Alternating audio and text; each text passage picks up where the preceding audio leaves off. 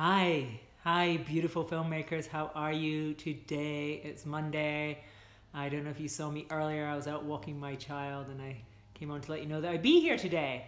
Um, it is a gorgeous day in Denver and it's so appreciated. I hope it's beautiful where you are. Hi. Um, because this has been the winter wasn't i mean the winter was pretty long and bad but the spring was also it's been cold and sort of like you know we had a lot of snow in the springtime and we are over it here in denver. We're ready for this warm weather so i'm really grateful for today. So today you might have seen me come on earlier to say what the topic is going to be for this filmmaker to filmmaker session and what i want to talk about is sundance. Um, and i have been lucky enough hey hi I have been lucky enough to be both at the Sundance Film Festival with a movie. I premiered my first movie there, and I also later um, went to Sundance Screenwriters Lab. And so I've been very lucky to have been, you know, very much part of the Sundance uh, story for myself. And it's an amazing thing. Hi. Hi, Robert. Nice to see you. Hi, Maggie. I see so many friends.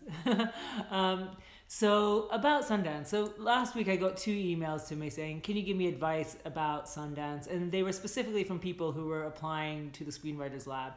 And this is something I'm asked about a lot, and I thought it's really worth like you know talking about this and giving you my honest opinion about how you can increase your chances of getting into either the film festival or the lab and we will talk about both in this so for those of you who don't know sundance has like two arms. There's the sundance film festival hi kevin and then there's the sundance labs and those are run by what is called the sundance institute okay? And they're two separate entities right?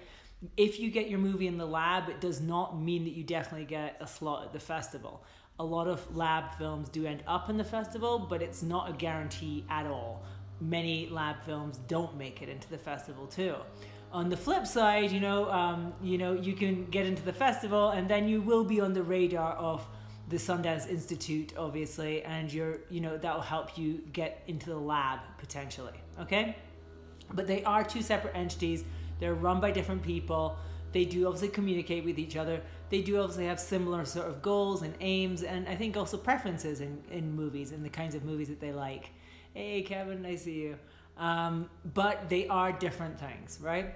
So most people sort of think of like the lab as being a stepping stone to getting a movie in a festival, right? Like they see the labs and they're like, oh, if I could get my movie into the Sundance labs, then I could get in the festival, it would be amazing, you know.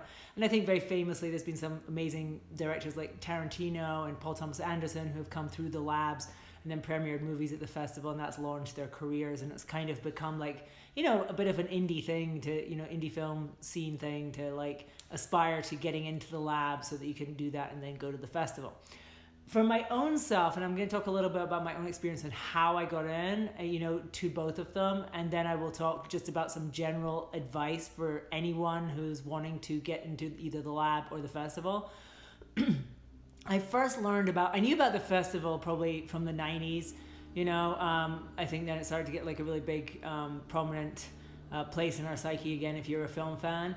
And but I didn't really have any aspirations to have a film there. I mean, that was so beyond me. That's like if you're sort of like you're really poor and you're thinking, God, if I could just get a house for a million dollars, that would be freaking like you know that'd be like winning the lottery. But you could never imagine buying a house for fifty million dollars. You know what I mean? So I never imagined having a film at the festival at that point. What I did though was in 2003 I read about the Sundance Labs and I was immediately like, boom, I have to go to the lab, right? You know, I don't know if you ever get that about anything. Like, I really felt a calling to it. It was like, I, I mean, it just seemed like my idea of heaven, like this idea that you got you know, all your expenses paid. You got taken to this place in the mountains, this beautiful resort. That just the pictures online looked amazing, you know, and you get immersed in this sort of world of indie filmmaking, and you get these amazing mentors and all this. And I just thought, I cannot imagine anything better in the whole world than going to that lab, and I want to go to that. And so I started to make it my goal. I finished my first screenplay a couple of years later. I submitted it to the lab. I didn't get anywhere. Um, I don't even remember like necessarily even getting rejection letters. I don't know, maybe I did, but you know, I just didn't get anywhere. Uh, I that didn't stop me, and I'm, this is going to be a common refrain through this conversation. It did not stop me because that script didn't get selected for the Sundance Screenwriters Lab, but it did get optioned. It got sold and it sort of launched my career. And so I came to LA as a result of that script. And I started working as a screenwriter and I got hired to write other screenplays and I was working in this way. So I wrote another screenplay that I thought would be good for the labs and I submitted it and I got turned down again. So I was like, okay, that's fine, you know. And you know, but I kept working, right? I kept just working on my screenplays. Then I wrote another screenplay. So I submitted three different screenplays. And then the fourth screenplay I submitted, I was like, this is the one, right? And it was for a movie called Obselidia. And again, I got rejected. I didn't get anywhere in it. And um, at that point, I was like, okay, I'm just going to make this movie. So I made the film. You know, and again, this is, you know, so I've been rejected at, by this point four times from the labs and um, with four different scripts. And at this point, I just like, I made my movie by myself, you know? And I made that film, I submitted it to the festival, to Sundance Festival, and it got accepted. All right, so the feature film got accepted. So I went to the um, Sundance um, Film Festival, amazing experience. And during that, actually, Michelle Satter, who is the head of the Sundance Institute, she reached out and said, "Could we meet for a coffee?" I met her for a coffee. I told her in no uncertain terms, like it has been my dream to go to the lab. You know, I, like there's nothing that I would like more. And she said, Great, we'll submit a script. So after the festival, I was like, I gotta write a script for this and submit it. So the screenwriter, they run two screenwriter labs a year, one in June, which comes immediately before the director's lab, and then one in January. So they had a very short window. This was in January, just after the festival. Um, and I said, okay, I'm going to submit something to you, aiming to get into the June lab. So I submitted it to her, and I, you know, now I had a direct contact with the head of the lab, which was amazing. So I submitted it directly to her, and um, I wrote this screenplay, which I just really loved and which I really wanted to make, which was kind of a weird concept. It was about a woman who dies, and it's about the afterlife. You know, it was one of those kind of movies, right? and it was all about her sort of finding the meaning of her life through her death you know blah blah blah right but it was also about the fact that somebody else like she's like mixed up at death with somebody else all those kind of stuff um, hey thank you um, so so i submitted that to her and i thought this has got to get in because they, they they know me they like me i've had a movie at the festival and lo and behold my movie did, my script did not get selected. I got rejected again. I got rejected from the Sundance Labs again. And I was gutted because I really thought that I would get in. I mean, I just thought it was like, I thought I was a shoe in at this point, right? I mean, I've just had a movie in the festival. It's won two awards, a feature film. I thought like for sure they're just to like usher me in and I'm to be in the June lab. I didn't get it. She said to me, um, they just, she, you know, they didn't really respond to the script. They didn't love it. I was like, holy shit. Now, here I'm to tell you something which I have never told anybody, okay? And um, this is will lead into some of the advice I'm to give you about, you know, if you want to get into the Screenwriters Lab, what you should do. So I then decided to get smart because I was like, okay, I'm going to resubmit for the January lab, right? I need to write another script and I need to get smart about this because obviously that like this script they just did not chive with them and I want to go to the lab. So I looked at what had been accepted, right? And I looked at what kind of film was being accepted. And I looked at what had been accepted for that round and the round before and the round before that. And I just read all the log lines and read about this projects, right?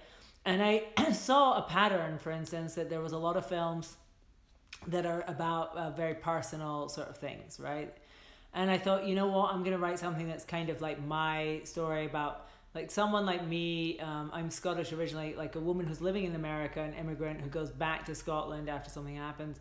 Because i just sort of thought you know i like rather cynically i felt like this kind of story is going to chime with them okay and i've never admitted this anywhere because you know my whole thing always if you know me at all i'm always like write what you love write what you love you know don't think about the audience i totally thought about the audience and the audience for me at that point was the Sundance Screenwriters Lab, I wanted to get in, right? And so I wrote that script, and as I say, I studied what they had been accepting, and I, you know, thought, okay, this feels like the kind of thing. I also became aware. So my movie Obselidia won an award at Sundance called the Alfred P. Sloan Award, and Alfred P. Sloan is an institution that gives um, uh, support and money to projects that have a science theme or about science or a scientist, etc. It's not science fiction, it's about real life science, okay? But it's a pretty broad stretch, pretty broad definition that they have. And I realized that the Sundance Screenwriters Lab in January, they also had a spot sponsored by the Alfred P. Sloan Foundation. So not only did I decide to do this personal take, but I also decided to make my movie about a scientist. Okay, now that sounds like super cynical, but I just thought this will give me the best shot of getting in. And you know what? I was right. Because not only did I get into the lab, I also got the Alfred P. Sloan Fellowship, which is um, a twenty thousand dollar grant, basically, which is amazing. So you're not only like you know getting in, but you're actually getting money for going, you know, and to to write for a number of months. Okay, so that was amazing.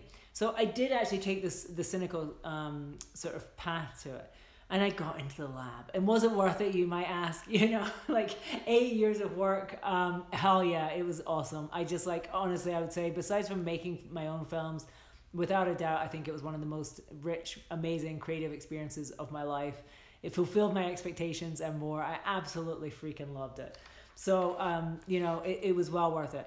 So let's talk about now some tips if you are wanting to get into Sundance the Film Festival or Sundance Labs. And I'm going to talk about the labs first, and I'm going to talk specifically about the Screenwriters Lab.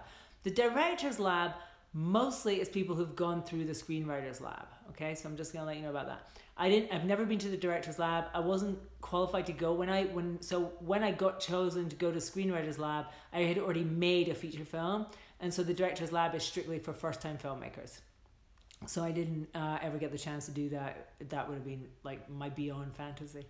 So um, the lab. Let's talk about the screenwriters lab and how to get in. The first thing I'm going to say is Sundance, when they choose you to go in the lab, they're going to support you in your project for at least a year and probably more than that. Okay, they really put a lot of weight behind you and they will help you a lot, right? And so, obviously, what they want to do is they want to choose people who they feel are serious and committed in themselves. And how do they know you're serious and committed? It's because you have some work that you can show them already existing in the world. Okay. And it's kind of like, you know, I guess for me, when I first started submitting to the Screenwriters Lab, like I didn't really think about that. I just sort of thought it's about the script. It's not just about the script, it's about you. Who are you, right?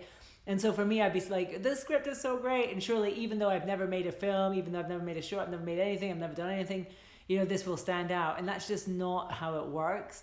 Like, if you look at the bios of the people who are selected every year, and I really encourage you to do it if you're serious about getting selected, look at them, right? Read them. What are these people doing, right? They don't choose people for the lab who have never made a film, never written anything, never done anything, right? Now you can still submit, you know, you can still have the fan, you know, you can still have the fancy. and It's still good to submit, I think. It's just good to like do these things, to have those deadlines and these goals and take action towards them. I think it's important. But I am going to say if you're serious about getting into the screenwriters lab, you know, you need to be doing work. Continue to do work. Whether or not you're getting into the lab doesn't matter you know, find a way to get shorts made, etc. Now, something I'm going to say too, I found it very strange. So when I went to the screenwriters lab, there was 12 projects um, that had been selected for it. And I was kind of shocked that like I think every single one of them, a couple of them were writing pairs, okay? So some films have like two people attached and two people there. But everybody there was not one single just screenwriter. Everybody was a writer slash director. And if they weren't a writer slash director they were a writer there with someone who was going to direct the movie okay? Now i don't know if this is true every single year. And again this goes into the thing of doing your research and looking at what they're you know like look at last year look at the year before. Who is getting in and have those people direct the things but the year I was there, just to be clear, there was not a single person who would, had just written a screenplay and had no one attached. Not one. Okay?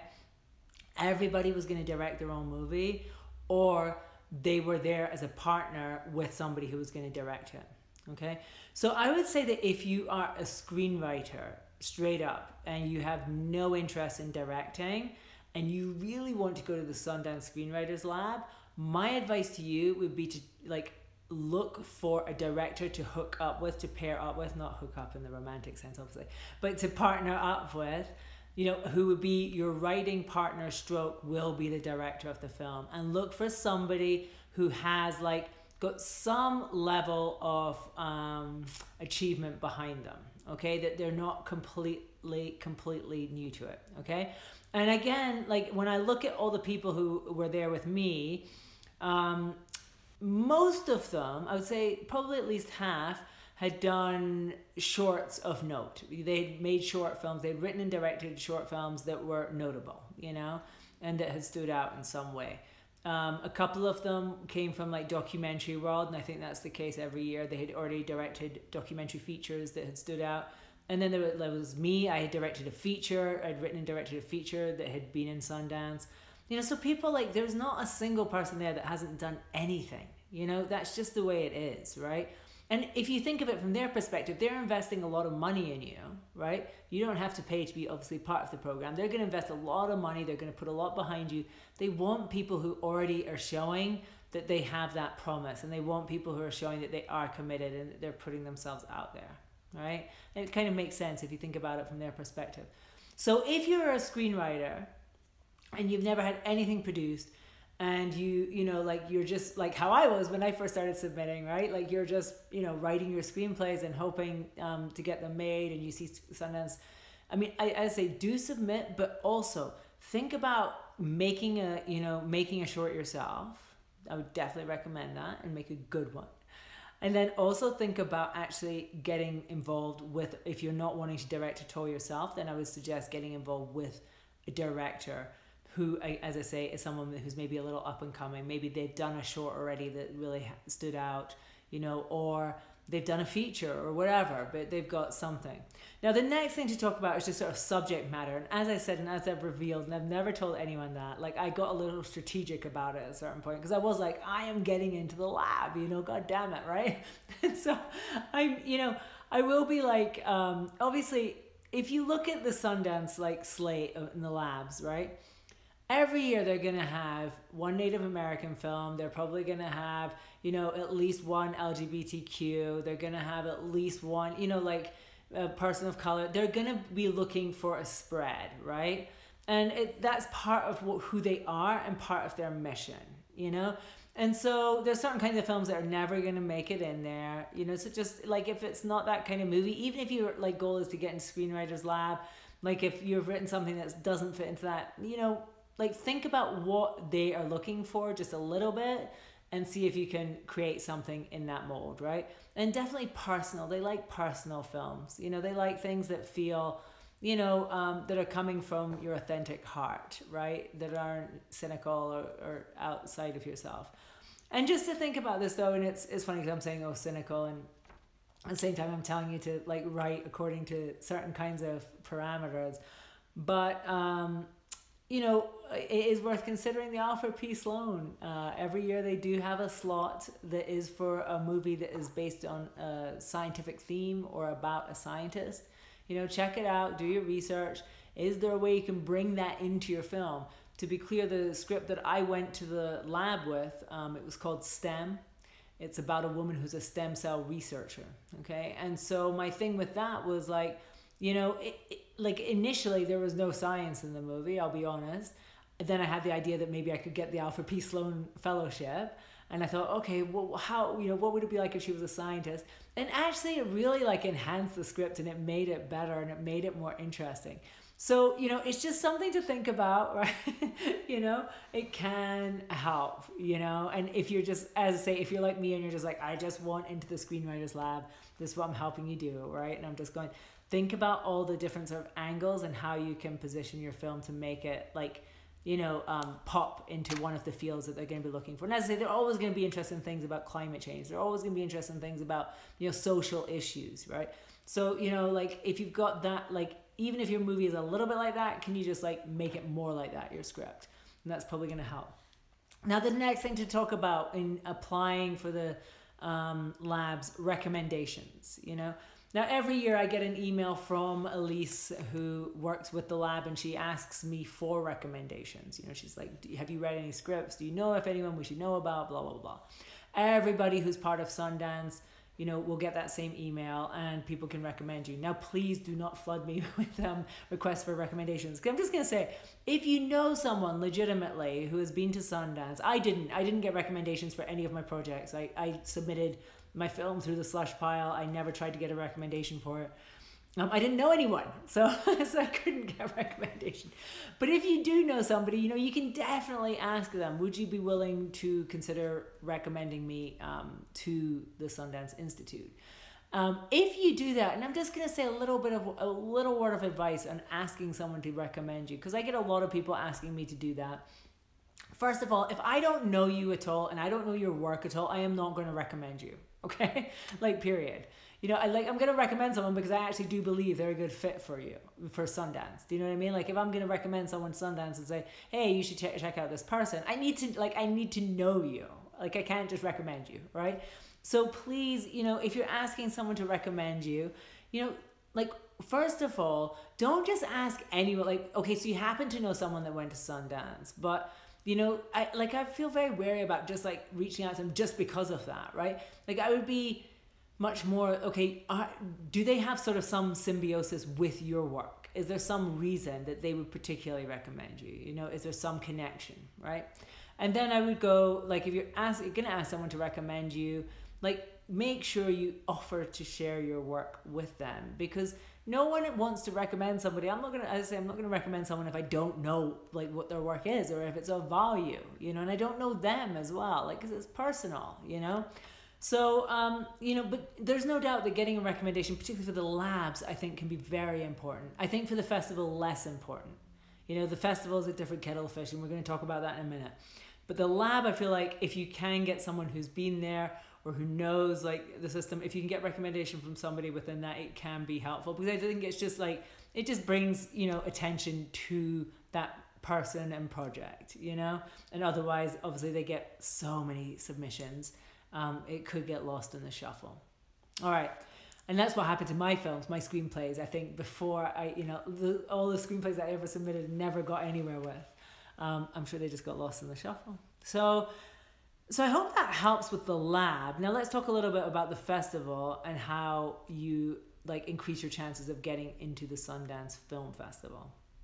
Um, and if you have any questions as we're doing this about the lab as well, please go ahead and ask. I say I'm, you know, this I'm just talking all from experience. This is all just like my experience um, going there and what I have seen. Okay, so the festival, as we know, is like almost impossible to get into, right? it's just it's like the the statistics every year, you know, just like sort of blow your mind. I think the year that I was there, it was like you know, I, I don't know. I mean, 1.6% of films, submitted films, got selected. It's, you know, it's like they say, it's easier to get into Harvard than it is to get your film into Sundance, right? So, this is the first thing you have to know about the festival. Like, to think that there is a way to get into it um, is just kind of crazy because, you know, uh, you have no control over it, right? And it's very unlikely statistically that your movie will get selected for it. Having said that, I have like one overriding massive giant tip for getting your movie into the festival, and it's this make a movie you freaking love. And I mean it, right? Like people can get very like trying to be smart about it and it's like oh well if we cast this actor like they know somebody and you know if we get that band like you know they're so hip and this and that and if we get this person involved well they had a film at sundance last year you know and i'm just like no no no no no. These programmers watch so many movies they know all those tricks they see all that shit up front and to be honest, like they're just looking for movies that excite them. And you will never know what that is. You will never know what they're looking for. And every year it's something different. The year that my movie got selected for the Sundance Film Festival, I was just freaking lucky. And the reason I was lucky was it was the year that um, John Cooper took over as the head of the festival. So the theme for the Sundance Film Festival that year, nobody knew this. Like when you were submitting, you didn't know this. But the theme that they had decided upon was to rebel, right? And it was all about we're going back to our roots with real indie films, you know? And so I just got freaking lucky that the year I submitted my little $140,000 movie with no stars in it, that was their theme, right? And so, you know, if it was another year where it was business as usual and there's, you know, they're putting all the films with all the big stars and all that stuff, I wouldn't have got looking. I got lucky, right? But I will say this, and you know what I when I got into the film festival, I remember speaking to one of the programmers at the um, they have like a, a, a gathering of directors um, in LA a month before the festival or something, and I remember going there and I was talking to one of the programmers and he said, "Oh, you made Obselidia," and he said, "I just love that movie so much," and he said, "You know," he said, "I watch so many movies and you can feel like they're just." doing things in order to create a certain effect. And he said and your film just felt like pure love you know? And it really sort of stuck with me and it's funny because like when he said that to me immediately i went yeah you're right. It, it is pure love. I mean that film was pure love right? It was made without any expectations and without any sort of thought that it would be that it would actually get into sundance you know? Um, and so it was just like a labor of love making the movie and everything about that movie was love. And that's what came through. And i just sort of go like you know, if you make your movie from that place and from that energy, first of all, you cannot go wrong because you will make something that you love, and that's like the best thing on earth. But second, it really does have the best chance of actually standing out, you know, because so many of the films aren't made that way. So many films are made like in a much more cynical way. And, you know, these programmers are watching a lot of movies, they see a lot of stuff, they've, you know, they see it all. And so I think like if you can make a film that's like so unique, so singular, so your passion, your vision, all that, I go oh, that is your number one best way to try to get in Sundance. You know, rather than oh we'll cast such and such or so and so. You know, unless you have I don't know. I'm gonna go like who's the who's the biggest like Sundance darling of recent years? There's probably a few. And obviously there is a thing like you know you can imagine I think the whole indie film world are trying to get their movies in every year. You know, the studios are putting pressure on them. The sort of the mini studios are putting pressure on them. Everyone wants their movie there, you know? So I just go, look, if you're an indie filmmaker working like really like we're the off, off, off Broadway version of indie films, that's how I feel, you know, then I'm just like, you know, you just stand out by just doing your thing, you know?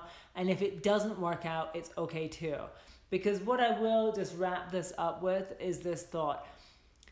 Sundance is just one path. I have been very blessed to have been in the festival and the lab, and I like both have been phenomenal experiences in so many ways.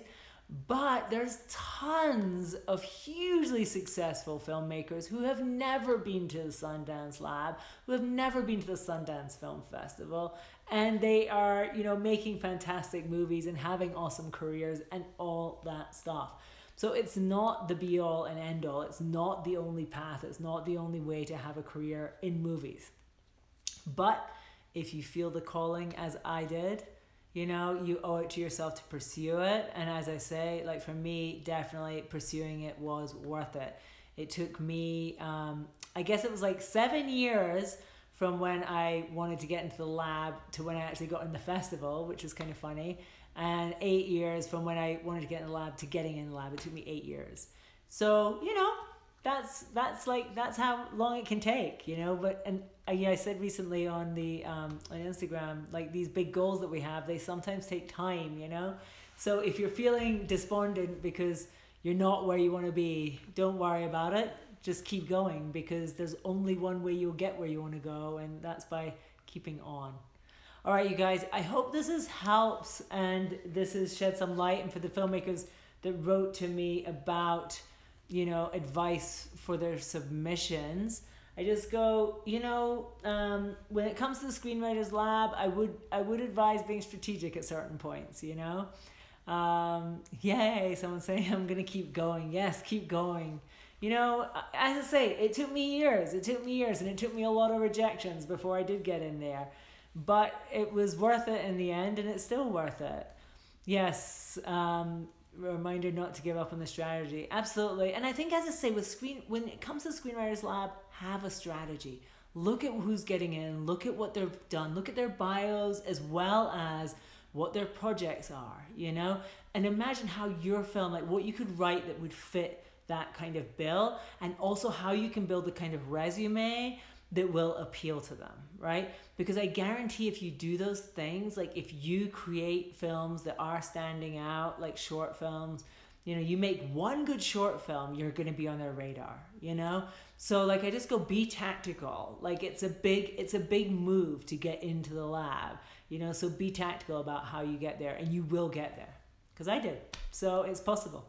All right, guys. Um, once again, thank you so much for joining me if you're here live, and then also if you are watching this uh, later on the day or on YouTube, because I put these on YouTube, enjoy it there. And if you haven't seen it, I do put these up on YouTube. I use the hashtag filmmaker to filmmaker.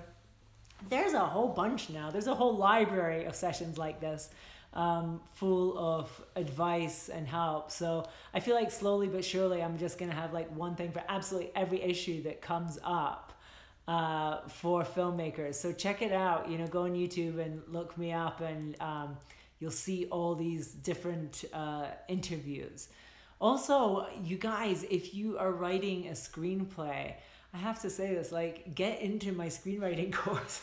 I'm just like, it's just amazing. Right now, we've got a number of students who are like at different stages through it because it's just a rolling entry. I am thinking about, I don't know, it's, it's not, part of me is like, oh, should we just keep it open all the time or should I close it? I don't know.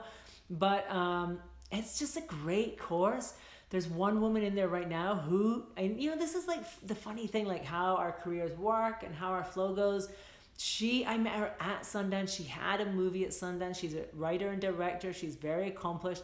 And she's doing my course right now because she's like i just want that sort of like guidance. And she's like oh my god i freaking love this. It's making it so simple and it's making it so fun right? And she goes it's it's never been this fun to write a screenplay you know? So if you are like whether you have never written a screenplay or you've written a lot you should really check it out um, there is a link to it in my profile, and I'm telling you, it's great fun.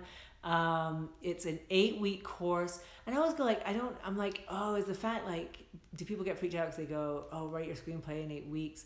You don't have to write it in eight weeks. You can do whatever you want. Like once you sign up for it, you will get one lesson a week for eight weeks. But it's actually up to you how long you want to take to do them like you you know you're grown up. So if you want to take a couple weeks off in the middle of it you can totally take a couple weeks off. You can do what you want. Um, but it's a really really um, great course and a great way to do it. Right now it's only for the eight week course it's $247 something 200 i don't know like 250 bucks basically for the eight week course or you can pay in installments um, the price probably will be going up in the not distant future. So if you are interested, I suggest getting in there. Once you're in there, you get lifetime access. You can have it forever. And what that means is you can literally use it every time you want to write a screenplay, which, you know, why not, right? um, because it would just like guide you through that process and help you write the best thing. So if you are like wanting to like go to the screenwriters lab and you're thinking, okay, I want to write another screenplay and I don't have a lot of time, jump in there and you'll just get guided through it and you will knock out a draft in eight weeks and you'll have something to uh, submit. All right, you guys. Hey, Tully, nice to see you. So nice to see so many of you here today. And thanks again. Have an awesome, awesome day.